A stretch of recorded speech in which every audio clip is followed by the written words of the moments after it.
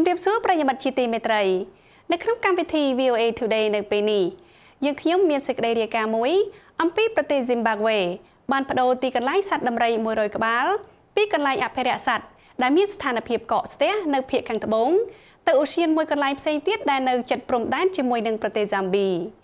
កន្លែងអភិរក្សថ្មីនេះមានចំណីគ្រប់គ្រាន់និងមានកន្លែងធំជាង ដើម្បីឲ្យពួកសត្វដំរីទាំងនោះអាចដើរបាន។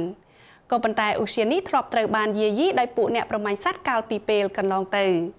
មន្ត្រីការពារសត្វព្រៃស៊ីមបាក់វេនិយាយថាក្រុមអាជ្ញាធរអាចគ្រប់គ្រងការប្រមាញ់សត្វបាននាពេលបច្ចុប្បន្ននេះលោក Columbus Mohanga រាយការណ៍បន្ថែមជូន VOA អំពីរឿងនេះពីរដ្ឋធានី Harare ប្រទេស Zimbabwe ហើយខ្ញុំស៊ូពេជ្រចិន្តាជូនសេចក្តីប្រាយសម្រួលដូចតទៅ អាញាធរគ្រប់គ្រងសត្វព្រៃនិងអូសៀនស៊ីមបាក់វេនិយាយថា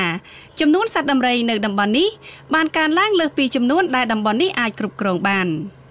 ការកើនឡើងនេះកំពុងបំផ្លាញដល់រុក្ខជាតិនិងសត្វនានានៅ Ocean Sea Valley ជាតំបន់អភិរក្សសត្វព្រៃទំហំ600គីឡូម៉ែត្រការ៉េនៅភាគអាគ្នេយ៍ប្រទេស Zimbabwe ដែលត្រូវបានបង្កើតឡើងកាលពីឆ្នាំ1993 ឧស្សាហនេះបានទទួលការអនុញ្ញាតឲ្យរើសយកសត្វដំរី100ក្បាលមុនពេលទីភ្នាក់ងារឧស្សាហមួយទៀតដែលបានសុំយកសត្វដំរីទាំងនេះលោក Wilfried Pap អ្នកអភិរក្សនៃឧស្សាហ Sea Valley ថ្លែងថា That is a highlight and success of conservation the way it's written in any book there is. I I feel នេះជាលទ្ធផលនៃការអភិរក្សដែលត្រូវបានសរសេរនៅតាមសៀវភៅនានាខ្ញុំសប្បាយរីករាយណាស់ខ្ញុំរីករាយណាស់ចំពោះលទ្ធផលពីការខំប្រឹងប្រែងរយៈពេល25ឆ្នាំមកនេះ បន្ទាប់ពីជ្រើសរើសរួចហើយសត្វដំរីទាំងនោះត្រូវបានបញ្ជូនទៅឧទ្យានជាតិ Rifa Safari នៅចម្ងាយ700គីឡូម៉ែត្រជិតព្រំដែនជាមួយនឹងប្រទេស Zambia ឧទ្យានជាតិនេះគ្រប់គ្រងដោយអង្គការ Hammerbach Rhinos Force អង្គការនេះការពារសត្វរមាសតែប៉ុណ្ណោះមិនការពារសត្វដំរីទេតើហេតុអ្វីត្រូវបញ្ជូនសត្វដំរីមកឧទ្យាននេះលោក Ralph Cox Svara នៃអង្គការនេះបានថ្លែងថា សត្វដំរីទើបតែបញ្ជូនមកឧទ្យាន Zambezi Valley ហើយសត្វរមាសខ្មៅកំពុងមកតំបន់នេះដែរអាញាធរគ្រប់គ្រងសត្វព្រៃនៅអូសៀន Zimbabwe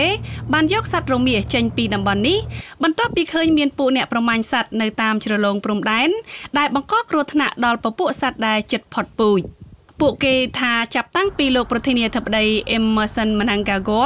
ឡើងកាន់តំណែងកាលពីឆ្នាំ2017មក Zimbabwe បានបង្កើនការយាមល្បាតលើការប្រមាញ់សត្វព្រៃ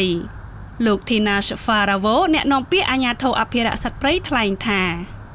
Most of our borders they are not uh, really watertight ព្រំដែនយើងភាគច្រើនមិនសុទ្ធតែបិទជិតនោះទេប៉ុន្តែយើងអាចគ្រប់គ្រងការប្រមាញ់ទាំងនោះបានពីព្រោះថាយើងក៏ធ្វើការជាមួយនឹងសហគមន៍នានាដែរ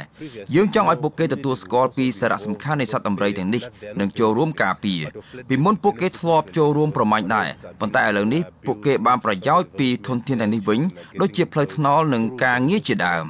ពួកគេសង្ឃឹមថាសត្វដំរីអាចតាក់ទាញភ្ញៀវទេសចរទៅទស្សនា Ocean River Safari និងជៀសផុតពីការតាមប្រម៉ាញ់ពីរដ្ឋធានី Washington ខ្ញុំស៊ូពេជ្ជិន្ដា VOA